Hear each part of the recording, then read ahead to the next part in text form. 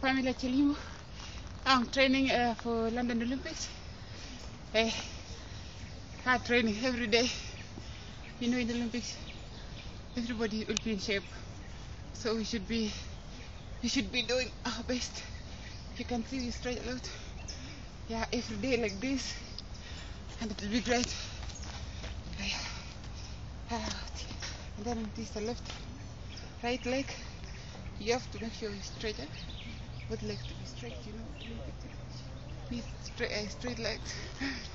Yes, like that. Yes. And then, and then you have to jog that.